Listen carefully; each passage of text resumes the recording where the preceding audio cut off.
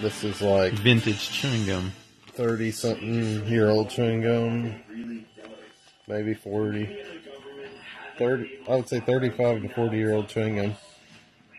Right? Yeah. Well, probably not forty.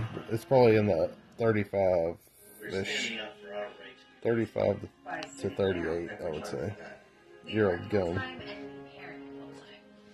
We will be reclining until further notice. It's our right to let the dishes soak overnight. and to mow the lawn tomorrow. We proudly declare that yes, we are. Tastes like powdered sugar. And no, we won't. It was real brittle, like it. It was real soft. By getting comfy on It's lazy falling boy apart.